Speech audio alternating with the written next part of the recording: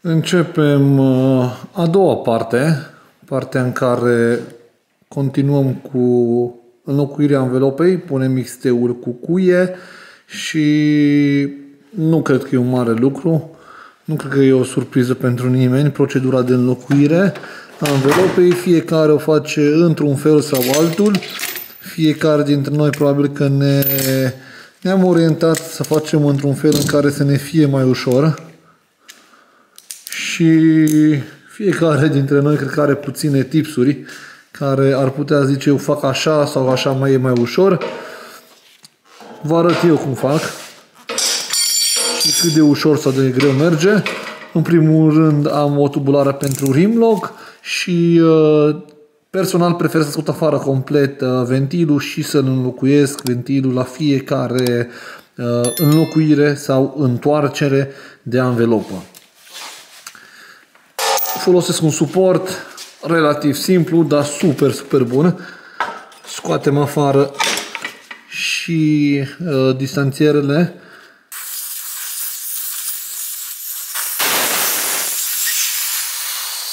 Am o, un set mare de ventile și, cum vă spuneam, îl înlocuim de fiecare dată, punem ventile noi, desfacem și rimlocul Povestind de, de rulmenți, vreau să vă zic că ăștia sunt originali.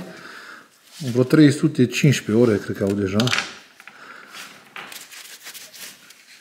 Lăsăm astea toate aici să nu, să nu le pierdem și mai avem un adaptor tot de la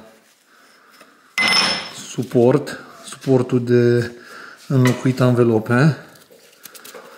Nu îmi place să desfac piulițele de tot, pentru că de multe ori nu e necesar, dar foarte puțin.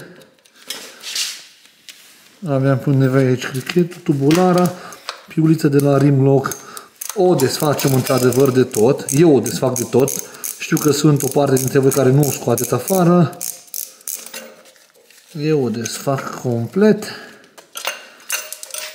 După care, ce îmi place foarte mult la acest suport, este că am posibilitatea să păstrez o mână liberă și cu piciorul să acționez standardul în felul acesta.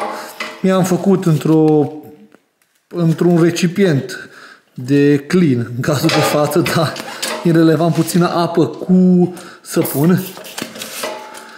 Puteți pune șampon ce doriți voi. Lucrurile iese, ies afară foarte, foarte rapid.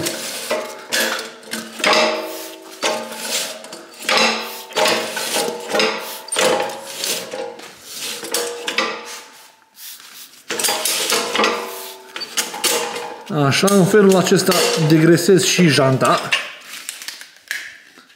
Aici la fel. Scoatem afară și rescape-ul.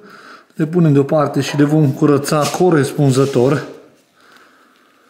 Unghiul camerei nu este întotdeauna perfect, îmi cer scuze pentru asta.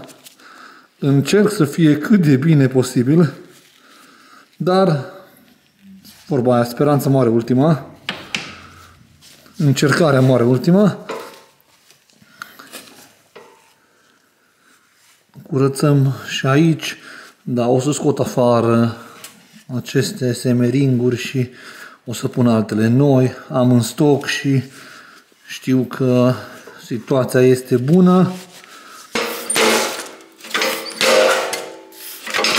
Pentru montaj, în schimb, folosim o altă soluție, varianta de la Lichimoli. Este acolo pregătită, o am de cel puțin 6 ani, cred că. Și am schimbat destul de multe gume, să vă spun sincer. Ce este important prin procedura asta, să revin și la procedura de demontare a roții, a anvelopei de pe roată, este a dezlipi anvelopa de jantă în cazul meu am trei leviere și acestea le-am cumpărat de foarte, foarte mult timp.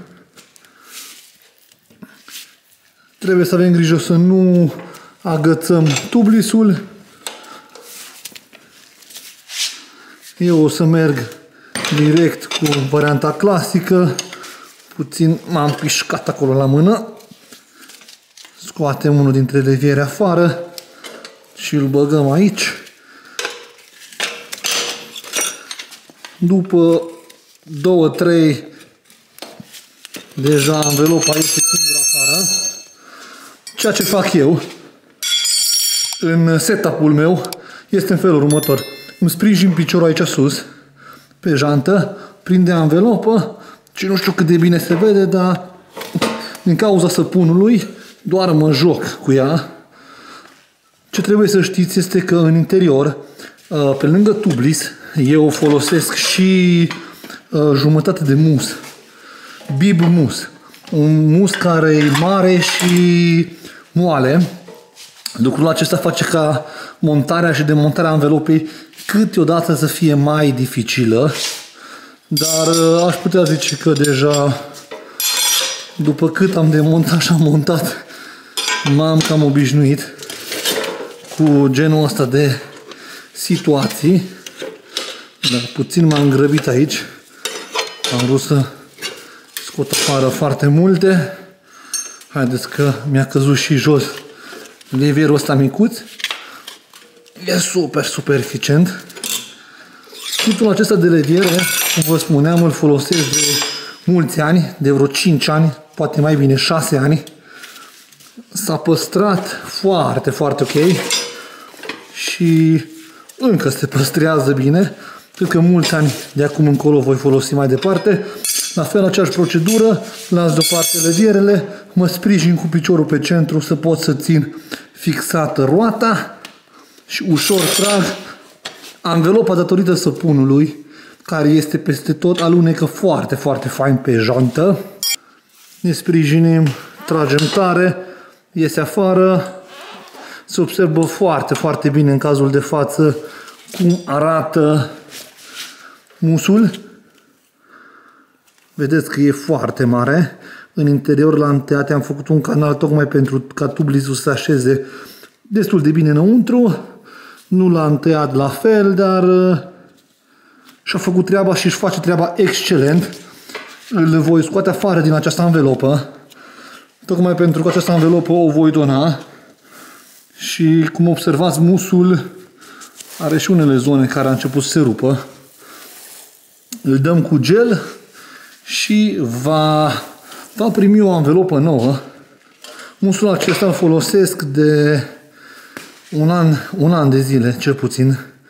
Uh, zonele acestea au fost rupte ele înainte să îl iau eu și să-l tai, iar găurile care au fost date îl fac ca să fie super moale. De ce îl folosesc? Foarte pe scurt, uh, îmi protejează foarte, foarte bine tublisul și întotdeauna folosind musul sau jumătate din mus cu tublis, voi merge cu presiune 0 fără să mă interesez dacă tăiem sau nu anvelopa. Nu mai porni camera chiar dacă m-am înțepat de o grămadă de ori în aceste cuie. O să fie nevoie să completăm din ele. Această anvelopă deja este la al treilea sezon, deci este o anvelopă campioană, un XT754 de la Mitas. Am uh, pus 0,5 în uh, partea anvelopei, 6,5 bari, aproape 7 la tublis și conform specificațiilor celor care produc tublisul, desfacem această piuliță până în capac sau cel puțin trebuie să fie desfăcută, nu lipită de jantă, cum uh, pe mulți dintre voi uh, am văzut că o păstrați. Procedura personală care o folosesc de a scoate afară semeringurile, indiferent că sunt noi sau că sunt uh, ceva variante mai vechi, este de a introduce o șurubență în spatele lor și cu o răsucire, în felul acesta,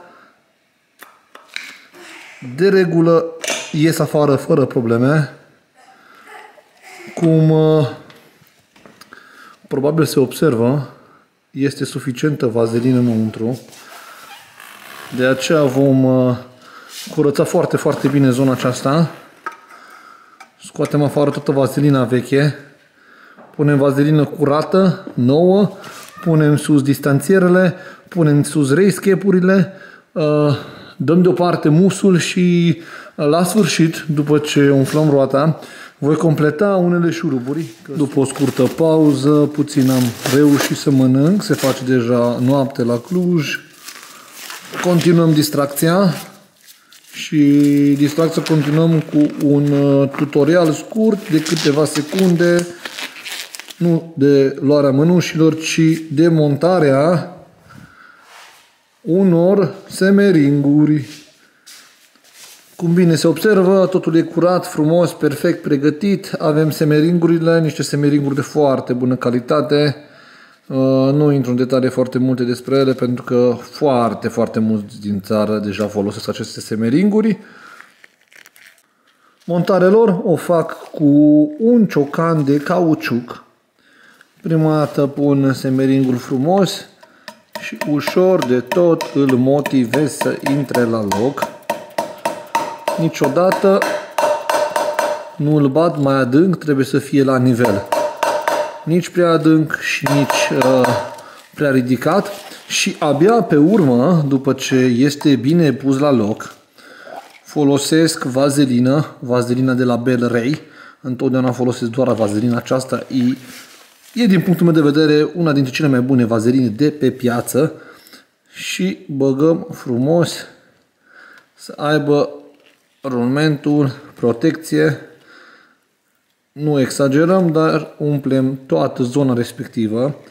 De ce nu pun vazelina prima dată și pe urmă să bat uh, semeringul? Este pentru că de regulă semeringul nu mai intră la loc cum trebuie și surprinzător va ieși sau cel puțin va începe să iasă puțin afară. Luăm uh, o cârpă să mă șterg puțin. Sper să nu murdăresc mai tare zona că e foarte murdară. O împachetăm așa cu grijă întoarcem roata că este plină de cuie, cum bine observați. Și continuăm cu al doilea semering. Îl așezăm.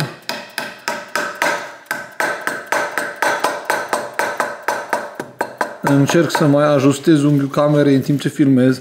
Deci câteodată dacă unghiul este un pic mai jos, îmi cer scuze pentru asta. Vazelină punem să fie, cum se zice, la noi.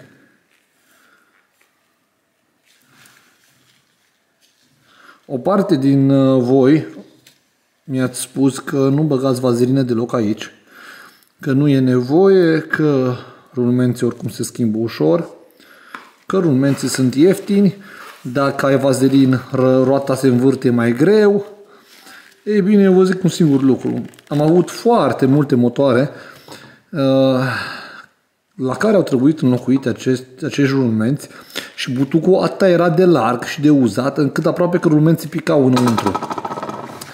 Da, este din cauza că s-au schimbat foarte, foarte des rulmenții, să știți. Punem și distanțierele, ușor le apăs și le rotesc, le mai apăs să mă asigur că au intrat complet. După care, probabil montajul le-ați văzut la race acestea. Le găsiți la Nordica Moto. E 50 de lei parcă setul. Dacă și puneți voucherul Transilvania Enduro, este 45 de lei setul. Dacă și prindeți ceva ofertă la ele, probabil să fie mai ieftin. Gratis, sigur nu le luați.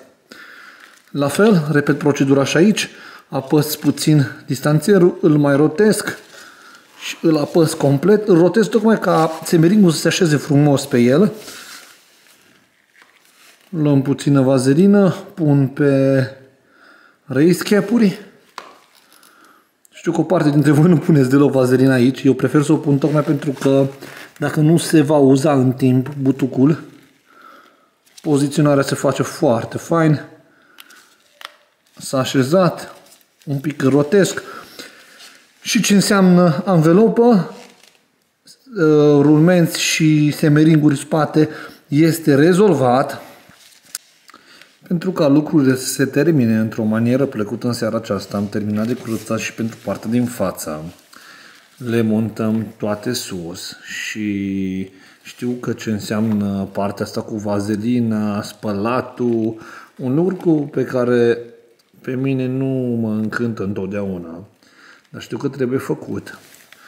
Este rezolvat. La fel, ne rotim pe partea opusă. Semeringul este curat. Punem vazelină, frumos, aranjăm totul și știm că am terminat.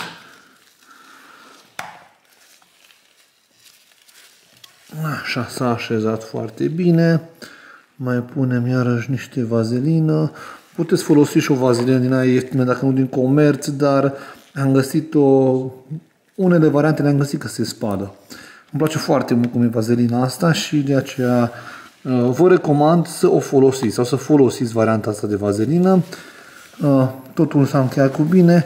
Ne curățăm puțin, strângem totul de aici și continuăm cu etrierele, aș putea zice.